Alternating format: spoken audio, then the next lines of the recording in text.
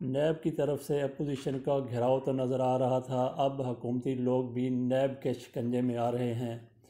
उस्मान बुजदार को एक दो दिन बाद नैब ने तलब कर रखा है।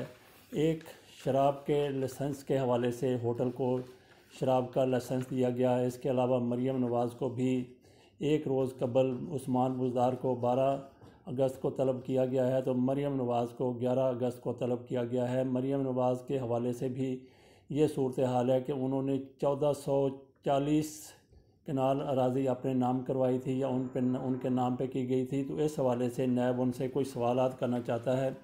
तो मरीम नवाज़ को 11 तारीख को बुलाया गया है 12 तारीख को उस्मान बुजदार को बुलाया गया है और इसके अलावा मून सलाही की तलबी भी हो रही है और इसके साथ साथ चौधरी परवेज़ लाही और चौधरी शुजात हुसैन से भी बाज़ पुरस की जा रही है, उनके असासे पहले कितने थे, अब कितने हो गए हैं। तो कल तक यही कहा जा रहा था कि उस्मान बुजदार अगर निकल जाते हैं हुकूमत से, कोई उनके ऊपर उफ्ताद आन पड़ती है, ख़ुद इस्तीफ़ा दे देते हैं, या वो, या फिर नैब की वजह से उनको, नैब के हाँ उन्होंने पेश होना है तो वहीं उनको बैठा लिया जाता है। तो उसके बाद जब ये सीट खाली हो जाएगी तो फिर चौधरी परवेज़ अलाही बाकायदा काफ लीग के अजलास में ये ऐलान किया गया कि चौधरी परवेज़ अलाही फिर उस्मान बुजदार की जगह लेने के लिए पेश किए जाएँगे काफ लीग की तरफ़ से। लेकिन अब चौधरी परवेज़ लाही के बारे में भी कुछ नहीं कहा जा सकता कि उनको भी हथकड़ियाँ लग जाएँ।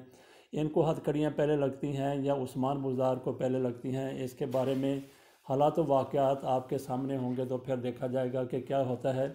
तो पहले बात कर लेते हैं हम मरीम नवाज़ शरीफ के हवाले से कि मरीम नवाज़ उनके नाम पे एक सौ चवालीस कनाल अराज़ी उन पे नाम पे हुई थी तो उस हवाले से नैब ने उनसे पूछा है कि ये अराज़ी आपने कितने में ख़रीदी, कैसे ख़रीदी? और इसके अलावा उसका क्या मकसद था खरीदने, ख़रीदने का, किन मकासद के लिए वो इस्तेमाल की गई? और आपने फिर उसमें से कितनी बेचती किस को बेची? ये सारी तफसीलात, कोई पाँच सवाल हैं इस हवाले से। मरीम नवाज़ को इनके जवाब के लिए तलब किया गया है ग्यारह तारीख को। तो ये असल में मामला क्या है, इसके ऊपर थोड़ी सी नज़र दौड़ा लेते हैं।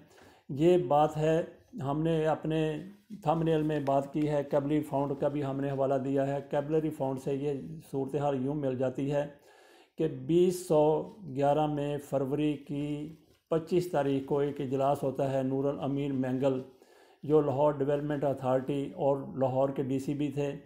तो इस हवाले से उनका इजलास, उनकी सदारत में एक इजलास हुआ, जिसमें 25 फरवरी को इजलास मनकद हुआ, जिसमें फ़ैसला किया गया कि मियाँ नवाज़ शरीफ का यहाँ पे घर है रायवेंड में, जाती उम्र में। उसके इर्द गिर्द की ज़मीनों को ब्राउन एरिया से निकाल के ग्रीन एरिया में शामिल कर दिया जाए।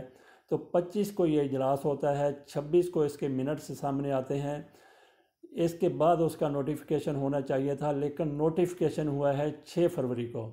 इजलास हो रहा है पच्चीस फरवरी को नोटिफिकेशन इससे कबल जारी कर दिया गया, गोया उसके बाद इस इजलास की एक ड्रामेबाजी की गई है। अल्लाह बेहतर जानता है कि इजलास हुआ भी है या नहीं हुआ, या वैसे ही वो मैंगल साहब जो थे, उन्होंने वैसे ही उन्होंने साइन कर दिया, जो कुछ उनको कहा गया। बहरहाल, ब्राउन एरिया से ग्रीन और ये एरिया में तब्दील कर दिया गया, उस इलाके को जो जाती उम्र के इर्द गिर्द है, जहाँ पे जाती उम्र है और उसके करीबी इलाके भी, वो भी उसमें शामिल कर दिए गए। उससे हुआ क्या? उससे होता यह है कि ग्रीन एरिया में आप सिर्फ़ फ़सलें बो सकते हैं, वहाँ पे ना फैक्ट्रियाँ बना सकते हैं, ना घर बन सकता है, ना मकान बन सकता है, ना कोई इमारत बन सकती है। तो जैसे ही ये ग्रीन एरिया डिक्लेयर किया गया, ब्राउन एरिया को तो ब्राउन एरिया जब तक था तो उस वक्त लोगों ने वहाँ पे बड़ी बड़ी ज़मीनें ख़रीद ली थी। अपने कमर्शल मकासद के लिए किसी ने वहाँ पे मकान बनाने थे, रहायशी स्कीमें बनानी थी या जो कुछ भी बनाना था। लेकिन जैसे ही ये ग्रीन एरिया इसको डिक्लेयर किया गया, इसका मतलब कि उसके बाद आप ना वहाँ पे मकान बना बना सकते हैं, ना दुकान बना सकते हैं, ना कोई रिहायशी स्कीम वहाँ पे जारी कर सकते हैं। तो हुआ क्या? हुआ ये कि यकदम उसकी कीमतें डाउन हो गई। कीमतें डाउन हुई हैं, गिर गई कीमतें उस ज़मीन की। जो लोगों ने कमर्शियल मकासद के लिए ख़रीद रखी थी। तो उस ज़मीन में से एक सौ चवालीस कनाल अराजी, जो एक सौ अस्सी एकड़ बनते हैं, वो मरियम नवाज़ शरीफ ने ख़रीद ली। बारह एकड़ उनकी दादी जान ने ख़रीद ली और इसके अलावा मियाँ नवाज़ शरीफ, शहबाज शरीफ ने भी दस या बारह बारह एकड़ उसमें से ख़रीद लिए। और ये ख़रीदने की वजह यही थी और ग्रीन एरिया डिक्लेयर करने की वजह ही यही थी कि वो पहले की नस्बत कई गुना सस्ती होगी ज़मीन वहाँ पे। क्योंकि वहाँ पे आप ना इमारत बना सकते हैं, ना घर बना सकते हैं, ना कोई स्कीम बना सकते हैं। और इसके अलावा एक और भी फिर आप उसको कह लीजिए कि फ्रॉड हुआ, जो हमने कैबलरी फाउंड की बात की थी। कैबलरी फाउंड भी यही था कि मरीम नवाज़ शरीफ ने एक दस्तावेज़ सुप्रीम कोर्ट में पेश की थी और वो दस्तावेज़ ये साबित हुआ कि जिस वो रस्म ख़त में है, कल, कैलबरी फॉन्ट में है, वो उस वक्त ईजाद ही नहीं हुआ था, मंजर आम पे ही नहीं आया था और वो रस्म ख़त जिसमें ये दस्तावेज़ बनाई गई थी। तो उसको जाल साजी करार दिया गया। इसी तरीके से एक जाल साजी यहाँ पे भी वो कैबल कैबलरी फाउंड की तरह की नज़र आती है कि इजलास हो गया, आपका हो रहा है पच्चीस तारीख को, जबकि नोटिफिकेशन उस इजलास के हवाले से जारी कर दिया गया छः फरवरी को, कोई बाईस, पच्चीस दिन पहले ही इजलास से। तो नूरुल अमीन मैंगल साहब ने ये सारा कुछ किसके कहने पे किया होगा? इस हवाले से किसी दूसरी राय कायम करने की ज़रूरत नहीं है। आप लोगों को मालूम ही है कि इसके पीछे कौन थे और फिर फ़ायदा किसने उठाया? तो अगली बात भी आप सुन लीजिए कि जिस तरह से ग्रीन एरिया उसको डिक्लेयर किया गया, ब्राउन एरिया को, जाति उम्र के इर्द गिर्द इलाकों को, इसी तरीके से एक और भी वारदात सामने आई। वो वारदात ये थी कि उन दिनों में ग्रीन, उन दिनों में रिंग रोड जो है, इसके गिर्द भी शरीफ ख़ानदान के लोगों ने कुछ ज़मीनें ख़रीद ली और वो ब्राउन एरिया था। पहले तो चौधरी परवेज़ लाही के दौर में ये सारी स्कीम चली थी तो उन्होंने भी इधर से उधर उधर से इधर अपने मकासद के लिए, अपने मुफादात के लिए वो उसमें तब्दीलियाँ करते रहे। कभी रिंग रोड इधर थोड़ी हो रही है, कभी रिंग रोड उधर थोड़ी हो रही है, जिसकी चाहते थे ज़मीनें उसके करीब आ जाएँ, जिसकी चाहते थे उससे दूर हो जाएँ। तो बहरहाल ये रिंग रोड जब चल बनने लगी, बन चुकी। तो उसके बाद फिर ये इसके इर्द गिर्द सारा ग्रीन एरिया था तो उसमें से कुछ हिस्सा शरीफ फैमिली ने ख़रीदा। मुबैना तौर पे यही कहा जाता है कि वो ग्रीन एरिया पहले था तो उसको ख़रीदने के बाद इन्होंने उसको ब्राउन एरिया डिक्लेयर कर दिया और वहाँ पे फिर कीमतें आप खुद अंदाज़ा लगा लें कि उनके रेट कहाँ से कहाँ चले जाते हैं। तो सस्ती ज़मीनें ख़रीद के उन्होंने यहाँ पे महँगी बेच दी और वहाँ से जाति उम्र के करीब से जिसको उन्होंने ब्राउन एरिया से ग्राइन और एरिया किया था तो वहाँ से सस्ती ज़मीनें ख़रीद के फिर महँगी उनको बेचना शुरू कर दिया या अपने टेरिटरी में उसको शामिल कर लिया। बहरहाल, वो ये सिलसिला, इस सिलसिले में मरीम नवाज़ शरीफ को बुलाया गया है ग्यारह तारीख को। तो इस हवाले से मरीम नवाज़ शरीफ का क्या बिगड़ सकता है? मैं समझता हूँ कि मरीम नवाज़ शरीफ का वहाँ पे कुछ भी नहीं बिगड़ सकता। ना उनकी गिरफ़्तारी होगी, ना कुछ और होगा। उन्होंने एक, जिन लोगों ने ये स्कीम बनाई है, जिन लोगों ने ये सारा कुछ किया था, जिन लोगों ने ब्राउन एरिया से ग्रीन और एरिया में उसको कन्वर्ट किया था, उनको बहरहाल जवाब देना पड़ेगा। मरियम नवाज़ ने एक ज़मीन बिक रही थी, वो उन्होंने ख़रीद ली। तो इस हवाले से कि उसका पैसे कहाँ से आए और वो उन्होंने आगे किस तरह फ़रोख्त की तो पैसे कहाँ से आए, वो मनी ट्रेल उनसे पूछी जा सकती है। तो ऐसी मनी ट्रेल के कई मुकदमात में वो पहले ही मखूज़ हैं तो इस हवाले से इस मुकदमे में ख़ास कर उनके ऊपर कोई ऐसा बार आने वाला नहीं है, कोई मुसीबत आने वाली नहीं है।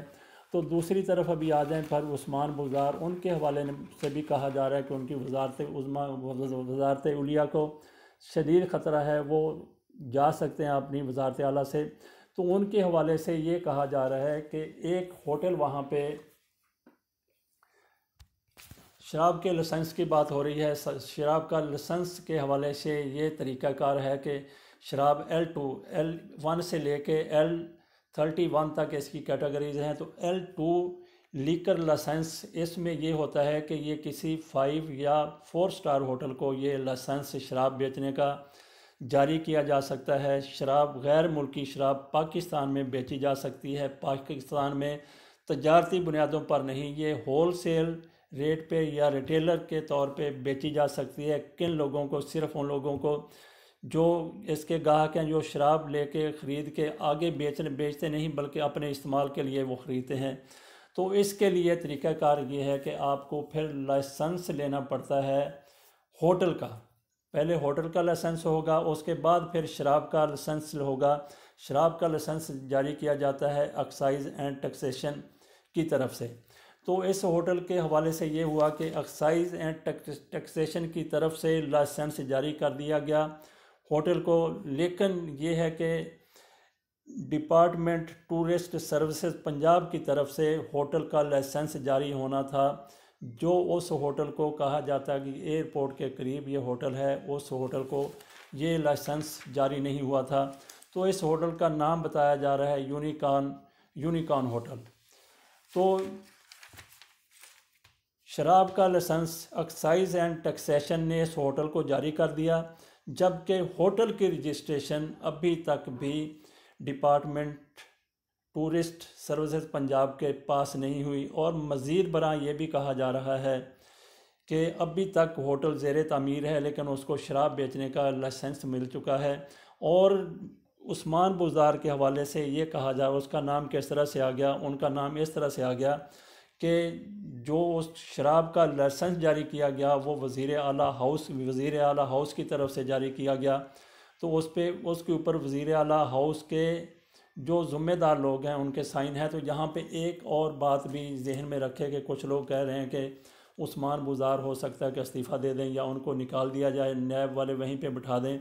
तो इस हवाले से जो हमारी मालूम हैं, उसके मुताबिक तो ये है कि ये कोई इतना संगीन नोयत का केस नहीं है इसके ऊपर कुछ लोगों की तरफ़ से ये वाज किया गया है। हामद मीर जैसे वो कहते हैं कि जो लाइसेंस जारी किया गया है या परमिशन जो दी गई है शराब बेचने की या शराब का लाइसेंस जो जारी किया गया है, उसमें जो समरी गई थी उसके ऊपर वज़ी अला के साइन नहीं है, किसी और अथॉरिटी के साइन है।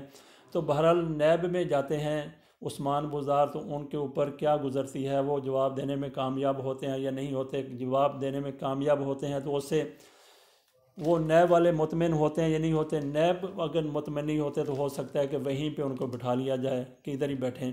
तो वैसे मैं ये समझता हूँ कि जिस तरीके से अगर कोई आम आदमी करप्शन करता है बड़े बड़े लीडर भी करप्शन करते हैं तो उनको लटका देना चाहिए। अगर उस्मान गुजार ने ये हरकत की है, पाँच करोड़ लिया है, दो करोड़ लिया है या सिफारिश किसी की मानी है तो इनको उल्टा लटकाना चाहिए।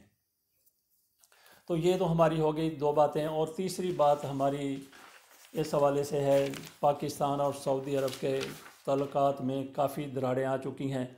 तो इस हवाले से शाह महमूद कुरैशी की तरफ़ से ये कहा गया है कि सऊदी अरब ओ आई सी के फॉरेन मिनिस्टर्स का इजलास बुलाए। अभी तक इजलास नहीं बुलाया, उसके ऊपर उन्होंने कुछ एतराज़ भी किए हैं। तो वो कहते हैं कि सऊदी अरब को पाकिस्तान के साथ बाहर सूरत खड़े होना चाहिए, भारत के मुकाबले में कश्मीरियों की हमायत करते हुए। इस हवाले से उन्होंने कहा कि आप ओ आई सी का फॉरेन मिनिस्टर्स का इजलास बुलाएँ अब तक नहीं बुलाया तो वो भी अफसोसनाक बात है, लेकिन अब ज़रूर बुला लिया जाए। इजलास बुलाया जाता है या नहीं बुलाया जाता तो सऊदी अरब के साथ पाकिस्तान ने जिस तरीके से शाह महमूद कुरैशी ने बात की है तो इस हवाले से कुछ लोगों को इतराज़ भी बहुत है। शाह महमूद कुरैशी ने यह कहा कि अगर इजलास नहीं बुलाया जाता तो फिर हम ऐसे ममालिक का इजलास बुला लेंगे। जो कश्मीर के ऊपर हमारे हामी हैं, हमारे साथ खड़े हुए हैं तो इससे क्या फ़र्क पड़ेगा? इससे ये फ़र्क पड़ेगा कि अगर ऐसा इजलास हो जाता है ओ के बाहर से ममालिक का तो वो एक एक और फोरम वो बन सकता है, इस्लामी ममालिक का, जिस तरीके से मलाइशिया जाने से जा रहे थे, इमरान खान, लेकिन सऊदी अरब के कहने पे वो मलाइशिया नहीं गए। उस हवाले से भी सऊदी अरब को ये ख़तरात थे, ये खदशात थे कि वहाँ भी कोई इस्लामिक ममालिक का ब्लाक बन सकता है, जिससे ओ आई सी के ऊपर कोई असर पड़े, पड़ेगा, फ़र्क पड़ेगा। तो बहरहाल शाह महमूद कुरैशी का जो स्टांस है, जो उनका मौक़ है, हम जैसे लोग तो उसकी भरपूर हमायत करते हैं कि सऊदी अरब को कश्मीरियों की हमायत में पाकिस्तान का साथ देना चाहिए, चाहे जाए कि आप भारत का साथ दें या दूसरे ममालिक जो हैं वो भारत का साथ दें। तो पाकिस्तान, चूँकि सऊदी अरब के साथ ऊँची आवाज़ में बात नहीं कर सकता था, क्योंकि पाकिस्तान को उन्होंने तीन अरब रुपया नकद दे रखा था और नौ अरब नौ अरब डॉलर की उन्होंने डेफर पेमेंट के ऊपर पाकिस्तान को तेल फ्राहम करना था। दो तीन महीने हो गए, उन्होंने तेल की फराहमी रोक दी है। तो ये भी कहा जा रहा है कि तीन अरब डॉलर, पहले अगर रुपया किया, कहा गया तो तीन अरब डॉलर जो पाकिस्तान के बैंकों में जमा थे, उन स्टेटमेंट बैंक में जमा थे, उसमें से एक अरब डॉलर सऊदी अरब ने मांगा और पाकिस्तान ने दूसरी बात ही नहीं की। चीन से लेके या कहीं से भी अरेंज करके उन्होंने एक अरब डॉलर सऊदी अरब के हवाले कर दिया। तो ये दरारें पाकिस्तान और सऊदी अरब के तल्लक़ में पड़ रही हैं। और फिर ये देख लें कि मुस्लिम लीग नून की क्यादत, वो इससे चापलूसी के तौर पर उनके यहाँ नरम गोशा पैदा करने के लिए अरब हुक्मरानों के दिल में उन्होंने इसकी सख्त मुखालफत की है। शाह महमूद क्रैशी के हवाले से बुरा भला भी कहते वो नज़र आ रहे हैं। शदीद तनकीद भी उनके ऊपर क्या कर रहे हैं, कह रहे हैं जी कि पाकिस्तान और सऊदी अरब के इस बंदे ने या इस हकूमत ने तल्लक ख़राब कर दिए हैं।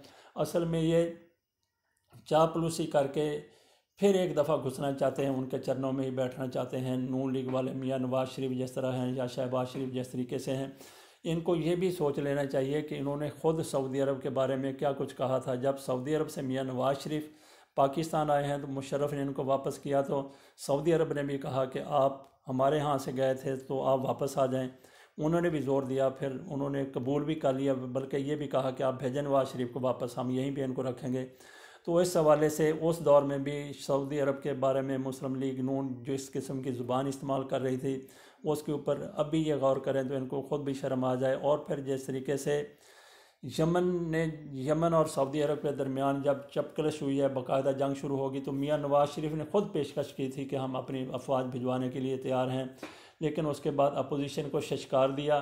फ्रेंडली अपोजिशन थी, पीपल्स पार्टी अपोजिशन में थी, मौलाना फजलरहमान वो भी मियाँ नवाज़ शरीफ के साथ उनके तल्लक का कोई बल्कि मियाँ नवाज़ शरीफ नहीं, बल्कि वो जो भी हुकूमत हो, उनके साथ तल्लक के बारे में, अगर वो एम एन ए बने होते हैं तो सब पे आया है कि किस तरीके से वो तल्लक कायम करते हैं। तो मौलाना फजलरहमान और पीपल्स पार्टी ने, इन्होंने शदीद मुखालफत की। शायद मियाँ नवाज़ शरीफ के शिकाने पर इन्होंने सारा कुछ किया। बहरल हुआ ये कि पाकिस्तान को फिर कौमी असम्बली का इजलास हुआ, पार्लियामेंट का इजलास हुआ, जिसमें ये मुतफ़ा तौर पर मुतफ़ा तो नहीं तो भारी अक्सरियत से ये फ़ैसला किया गया कि पाकिस्तान सऊदी अरब को फ़ौज नहीं देगा। और ये भी मुस्लिम लीग नून की हुकूमत की कारस्तानी आप समझ लीजिए जो कुछ भी था तो उस वक़्त इनको ऐसी बात करने की, जिस तरीके से उस वक्त सऊदी अरब के ख़िलाफ़ ये लोग जा रहे थे, अब शायद उनके ऊपर, और बाद में ऐसा भी हुआ कि फिर सऊदी अरब ने पाकि, सऊदी अरब मियाँ नवाज़ शरीफ को डेढ़ अरब डॉलर भी दिया था, गिफ्ट किया था तो उन्होंने गिफ्ट चलो पाकिस्तान को किया था, अच्छी बात है मियाँ नवाज़ शरीफ के ज़रिए।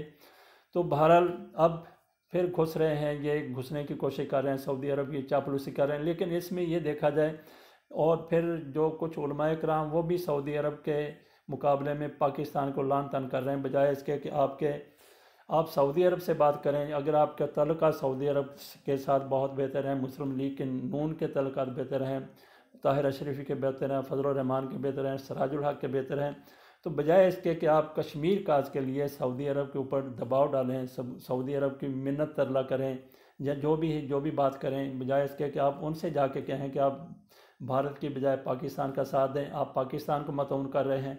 तो आखिर पे हम यही दुआ करते हैं कि अल्लाह ताला पाकिस्तान का हामी नासर हो, पाकिस्तान का हमेशा तहफ़ करे और आज़ादी कश्मीर की भी कोई सूरत हाल निकल आए, कोई सबील निकल आए। अल्लाह हाफिज़।